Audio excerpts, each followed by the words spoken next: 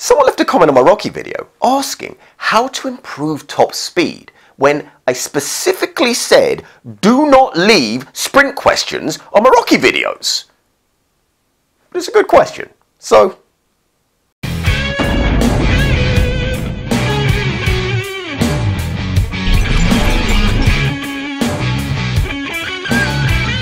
What is top speed? It's the fastest speed that your body is capable of producing when sprinting. It's redlining. Now, the fastest a man has ever been recorded running is 60 miles an hour. Faster. But, well, this is questionable, because he did it in a set of performance-enhancing blue Adidas gym shoes. But now, well, the speed's plummeted to a paltry 27.8 miles per hour because at the Worlds, they force you to wear your shorts, and those damn sponsors make you wear their overpriced spikes. Rules. Now, top speed is not a length of time. That would be top speed maintenance. Top speed is the moment in a race when you reach your maximal velocity. But what is that though? It's the time when you've produced the best push off the floor at a 45 degree angle in a horizontal direction. As soon as you leave the floor, you're decelerating again. So while top speed might feel like you're flying, by the time you feel it, you're already slowing down. Top speed is that moment from the foot hitting the floor from that knee flex position, riding over the center of mass, and then ripping out the back again. That's your peak velocity. Basically, it's one stride. But we don't measure it in one stride. You see, limitations in modern technology mean that most people are measuring it over a 10 meter segment, and that's more like 4 to 5 strides. Now, you can see why it's done this way, but can you also see how if you got two amazing strides out of 5 and three less amazing ones, from the clock's perspective, it wouldn't register a great velocity, even though from a biomechanical perspective, you got it very, very right twice. And that just means that the digits that you get on the clock when you're doing your top speed sessions just aren't always that helpful. Here's some quick math to illustrate.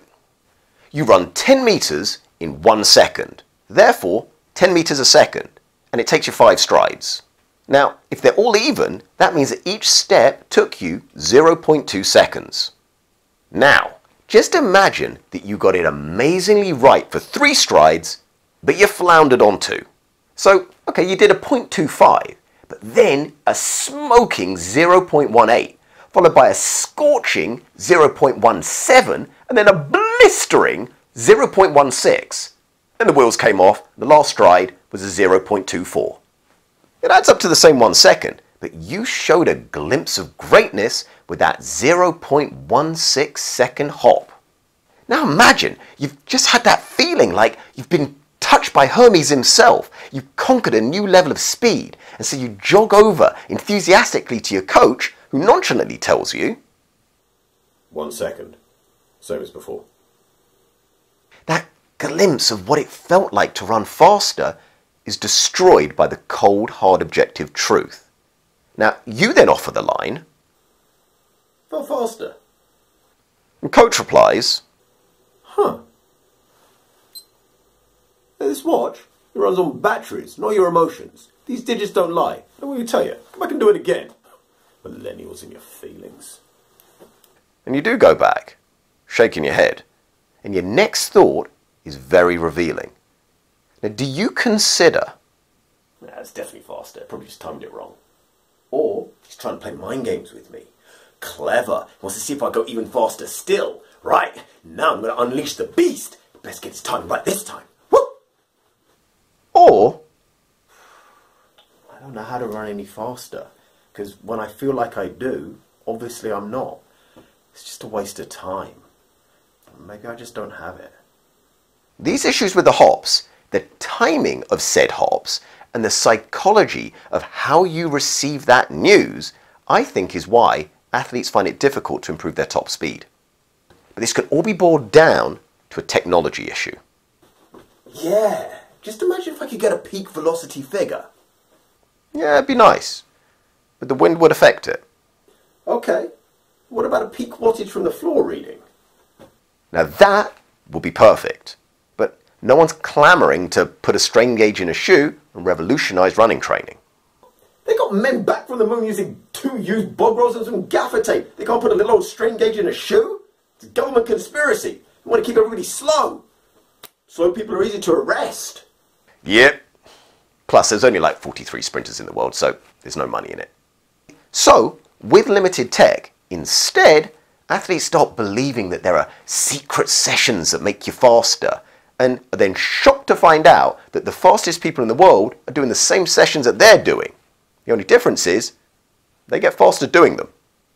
You see, top speed training is the training to increase the force you produce when your foot hits the floor, increase the speed you can apply that force that you produce, improve the angle of trajectory at the moment your foot leaves the ground. Sorry to kill the mystery, but that's it. After this, you're just floating and then trying to control the crash back to earth. The force that you produce when your foot hits the floor is determined by the hip extension force that your body can produce from a bent knee. Now, force is strength, so the weights room would seem like the best place to build that attribute, right? Wrong. The weights room sucks for building top speed. It's useless. In fact, it's worse than useless. It's counterproductive. Even if you could mimic the movement, the weight that people would consider to be weight would be resistance and that would slow you down. Slowing down defeats the purpose of top speed. And at the light weights that you'd have to use in order to not slow down the movement, you'd be thinking, well, I can't feel this. And so you start adding more weight again, which goes back to that defeating the purpose of top speed thing. So, how are you going to increase force without using weight? How are you going to increase tension without using a bar or dumbbell? In fact, is it even conceivable to increase strength without using some metal plate wrapped in rubber? One word, four letters, rhyming with hello. Strong without weights. Oh, snow! Judo! Blow. Hell no, bozo. Plyo. If you learn how to do plyo correctly, you will learn how to increase your top speed. You'll want to do both explosive and reactive plyo unilaterally and alternating. Unilaterally just means all left and then all right. Alternating means left, right, left, right, left, right. Explosive just means that you're focusing on producing maximum force. Now, don't worry, because you're doing this at body weight, producing maximum force is going to make you do it quickly. Just try jumping as high as you can. You're not going to do that slowly. Reactive just means that you're trying to do it as quickly as possible. An easy way to visualize this would be if you're trying to do 10 hops for distance, that would be explosive plyo because you're trying to get the furthest with each hop. But if you timed how fast you did your 10 hops, and you'd have to set the distance for each hop, otherwise people start cheating and go from like boom, boom, boom to I win. Then the faster that you can do those 10 hops, the more reactive you are. Caveat ignore at your peril. How you do something is so much more important than just doing something. If you're a couch surfer, then yeah, doing something's a good start. You can be inspired by the logo of a commercial sports company. But let me assure you, if you are already doing it, then just doing it more or badly is not going to get you to the front cover of the magazine. Well, not unless it's Sport Illustrated, the injury issue. So that covers force. Next thing is the speed that you can apply that force. If you want to increase the speed of applying force in a very short time, you need to train a way that is going to reduce the amount of time that you've got to work with. If you've got less time to apply that same force, then you're creating a stimulus that your nervous system can adapt to. Now, I'm going to say something that's a little bit controversial here, as in, studies may not back this up, but I found the best way to do this is something called overspeed, or what I call cadence rope. When you know how to sprint and you replicate that form exactly while being pulled by an elastic cord, you'll have less time on the floor. This means you give yourself the chance to apply the same force in less time. But again, hear me now. Don't focus on the thing, the gadget the gizmo. I keep seeing comments and hearing athletes focusing on contraptions like training is just about buying stuff on Amazon. Damn straight. Pay at checkout, use product purchased, become better athlete, 30 days, money back guaranteed. But most times this doesn't work, and there's a reason. You see, the body is a slippery son of a parent's DNA. It's an adaptation, but it's also a compensation machine. So people buy the rope, they use the rope, and yet they don't run it like a scientific experiment. They don't do the control run without the rope, and then when they use the rope, they don't make sure that run is exactly the same as the control run. They run with the rope, but they want to change the way they run. They let the rope pull them, they're thinking about not tripping, they're thinking do they look funny, they're leaning back on the rope rather than leaning forward into it, etc. They then don't graduate the pulls, trying to progress them to be more and more intense over time. They don't understand the recovery. The list goes on. Then, after a few weeks, nothing much has improved. In fact, the sprinting might even have got worse. Because what you practice is what you produce, and they practice rubbish running with a head full of nonsense, and then they say, oh, the cadence rope doesn't work. So, this will only work if you know what you're doing. Now, the final part is just improving the angle of trajectory. And at least this one's a bit simpler. It just means improving the flexibility and mobility of your hip flexors so you can get a more optimal push off the floor. Now, if you're a person who's already got gymnastic level abilities in your sprinter splits, then that's already optimized. But if not, doing this is going to help.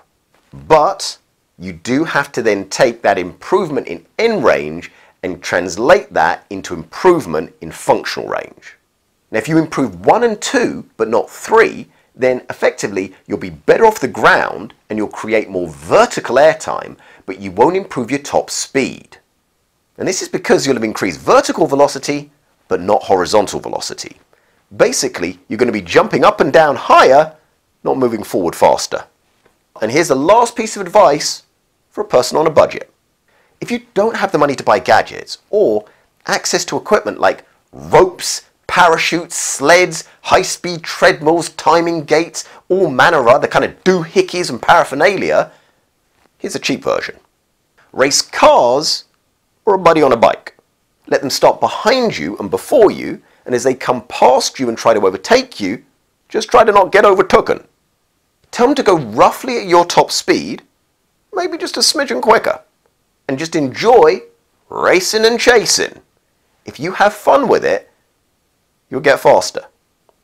Okay, so if I use a cadence rope on a high-speed treadmill while pulling a sled, I'm going to get faster, right? I can find myself an eBay auction, buy myself some lead-weighted tights. I hope this helps. If it did, press the virtual Polex, because let me tell you something.